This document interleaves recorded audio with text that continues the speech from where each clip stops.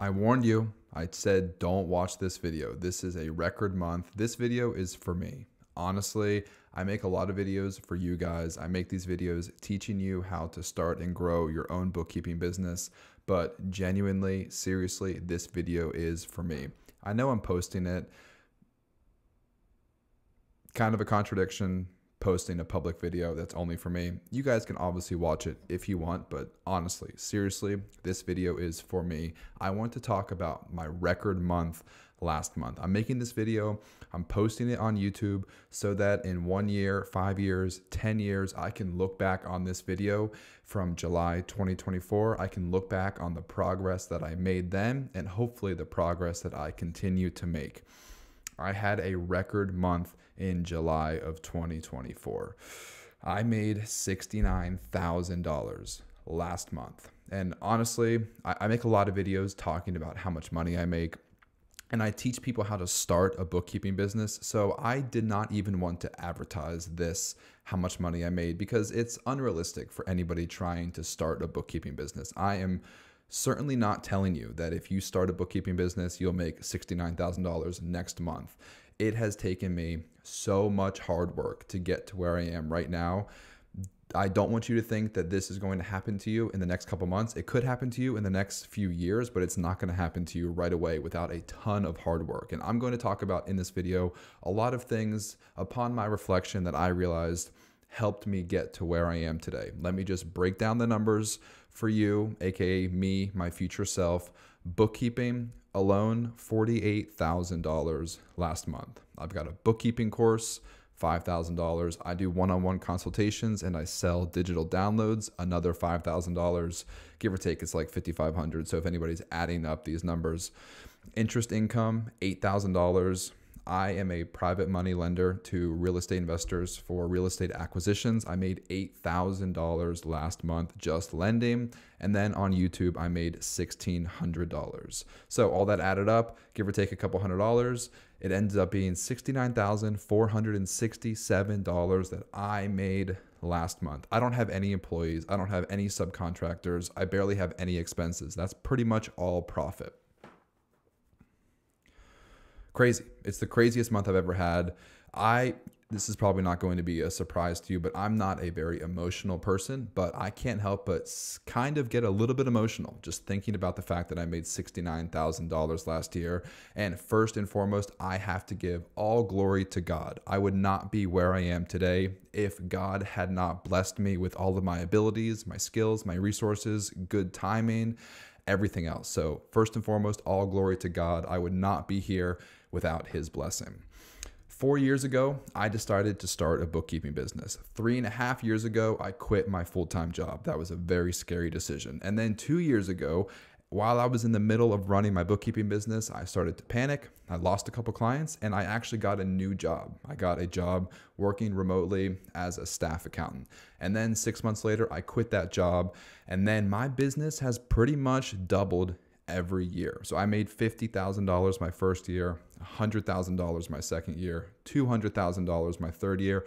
I'm on pace to make way more than $400,000 this year. Profit. I'm talking profit, like straight up profit. As a bookkeeping business owner, we have so few expenses. We have we don't need an office, we don't need employees, we don't need inventory, we don't need buildings or vehicles very few expenses. You just need a computer and an internet connection. And if anybody is actually watching this video, I will just say check out all the links in the description of this video. I've got a ton of resources that I made just for you. Okay, let me talk about a few things that have got me to where I am today. Entrepreneurship, first of all, is so incredibly scary. It's terrifying. Quitting my full time job three and a half years ago so, so scary. I have a family, I have a mortgage, I have bills to pay, I've got kids. I, so scary. I went to college, I was an army officer. I, I had some self respect that, like, I had a good job working at Amazon, that I didn't necessarily want to quit my good job and be a bookkeeper. Are you kidding me? Like, that's, that's a scary transition. But that is what drives me to work so hard every single day. Being an entrepreneur, one of the hardest jobs I've ever had. And that's also why I save a lot of money and I invest my money. We, my family and I, we would not be where we are today if we did not make sacrifices over the past seven or eight years. We have really made a ton of sacrifices. I made a video a couple weeks ago showing my net worth as a 30 year old, and almost all of that is contributed to the sacrifices that we have made. We invested a lot of our money in 401ks, IRAs. Now I'm investing and saving $20,000 a month into private money lending to hopefully set myself and my family up for success in the future. But I do all that because entrepreneurship is so scary. If I had a if I had a W2 job making half a million dollars a year, that would be 20 times more secure than my entrepreneur business making $500,000 a year. Because if something, God forbid, something happened in my business, I would not be able to go out to the job market and get a job making $500,000 a year as a bookkeeper or even as an accountant or even as a CPA. Like I would have to be either a very successful salesperson or maybe a partner at an accounting firm. I don't know what I would do but it's scary because if i if something goes wrong with my business i cannot just get a new job and make up my income. And that's why i try to take smart and calculated risk with my business all things financial.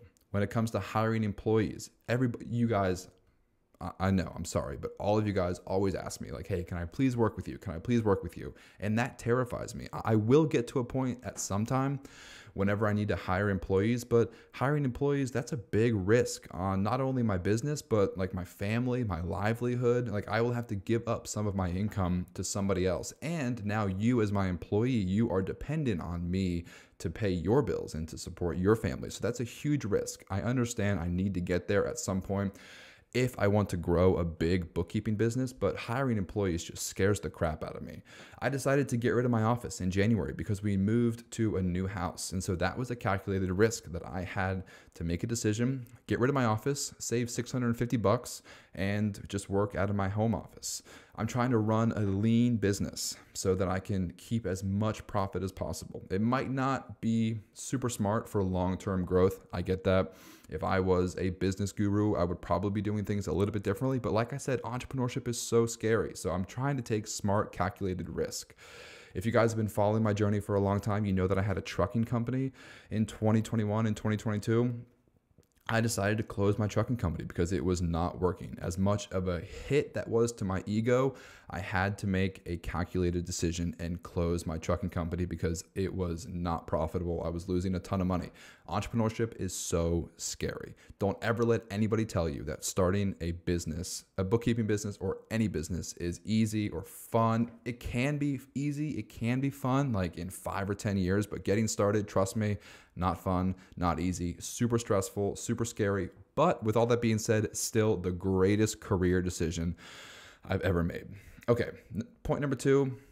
First point, entrepreneurship, super scary. Point number two, consistency is everything. I know it's almost ironic. I talk about how important consistency is so frequently, so consistently, but seriously, it is everything especially whenever it comes to my advertising and marketing.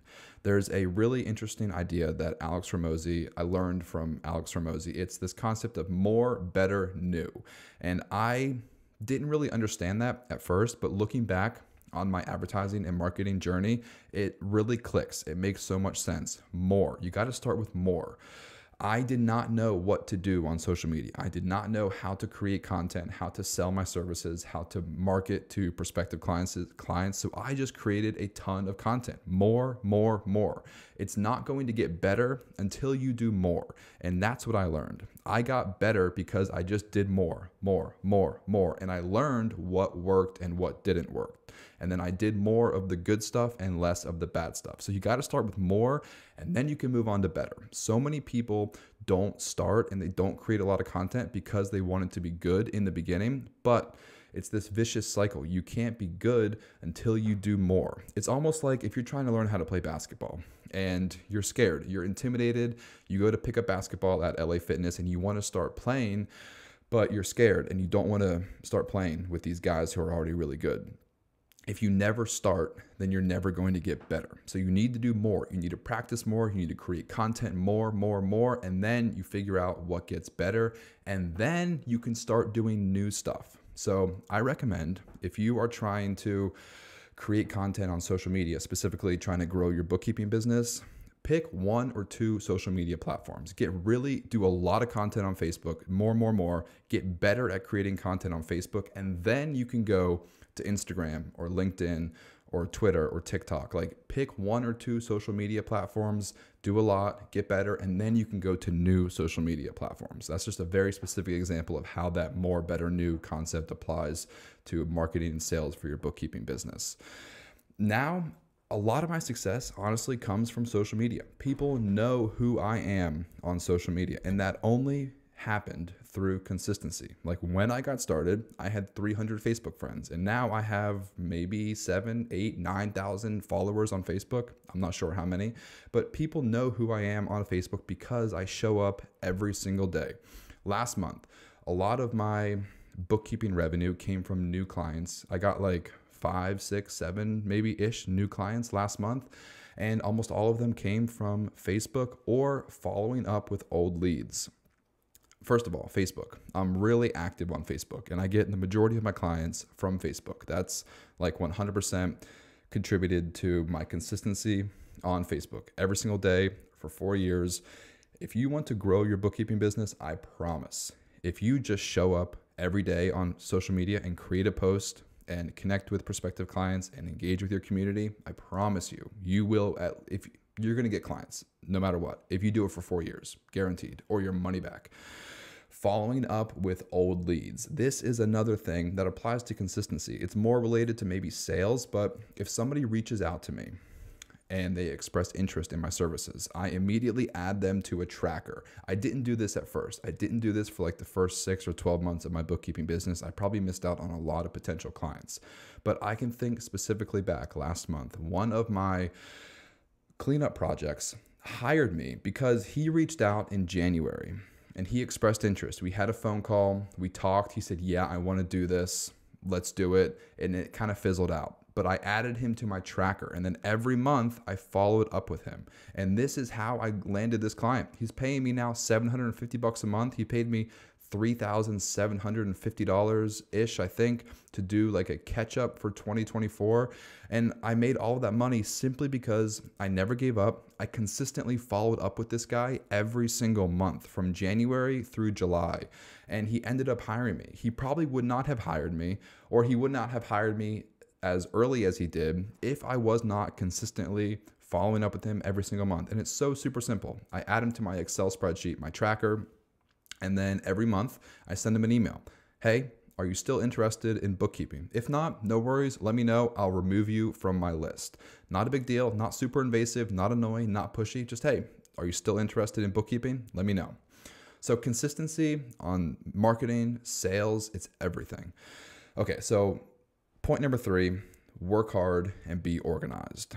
Point one, entrepreneurship, super scary. Point two, consistency is everything. Point three, work hard and be organized. This is such a contributor to my success. I made it, like I said in the beginning, I made a ton of sacrifices. I wake up early.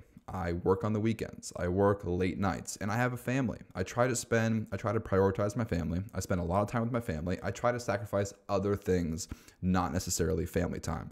I'll be honest with you, I don't really watch football anymore. I used to watch a lot of football when I was in the army, working at Chewy, working at Amazon. Even in the beginning of my bookkeeping business days, I watched a lot of football on the weekends.